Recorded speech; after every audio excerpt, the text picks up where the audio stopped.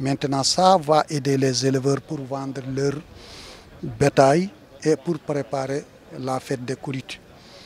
Et ça va nous encourager aussi pour bien organiser aussi préparation des fêtes de Tabaski. Le reste aussi qu'on a reçu un aliment de bétail plus de, environ de 3 milliards de francs CFA. Bon, il a lâché les marchés le samedi dernier.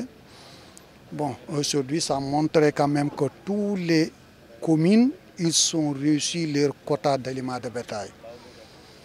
Dans cet aliment aussi, il y avait les parts des éleveurs, des bovins, mais aussi les éleveurs de, de volailles et les éleveurs de porcs.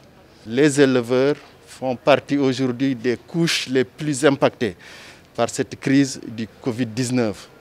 Et l'élan de solidarité que le président a lancé à l'endroit de toutes les populations, euh, nous voudrons le saluer à sa juste valeur, mais surtout le remercier pour l'acte symbolique qu'il a fait, en particulier pour les éleveurs.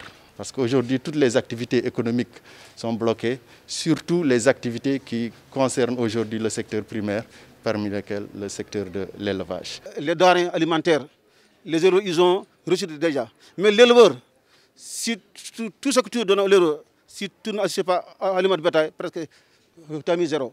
Aujourd'hui, le président a, mis sur la table 3 milliards. C'est pour donner aux éleveurs l'aliment de bétail à leur, à leur disposition. Il n'y a pas une semaine qu'on a fait un lancement Dakar. Aujourd'hui, l'aliment est disponible dans tous les départements. Il est important d'amener l'aliment jusqu'au niveau des départements. Mais le plus important encore serait que ces aliments puissent arriver aux véritables cibles. Et on est quand même très rassuré parce que de ce matin jusqu'à maintenant, nous avons eu à visiter quand même quatre communes, trois communes, y compris le ranch de Dolly. On a fait la commune de Deyali, la commune de Sagata, la commune de Warhof pour terminer ici au niveau du ranch de Dolly.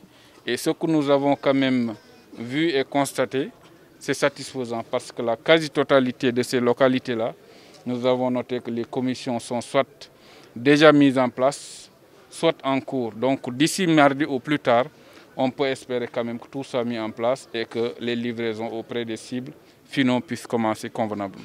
La quasi-totalité des, la totalité des départements ont reçu leur quota en aliments de bétail. Et au niveau de chaque commune, aussi les répartitions par commune, je peux dire 43% des communes ont reçu actuellement leurs aliments et d'ici mardi, euh, avec les prévisions, on pense pouvoir atteindre les 90%, voire les 95% de livraison au niveau commune. Le reste, ce qu'il faudrait peut-être dire, c'est qu'au niveau des communes, que les commissions accélèrent pour que la mise en œuvre effective puisse se faire dans de bonnes conditions et dans les meilleurs délais.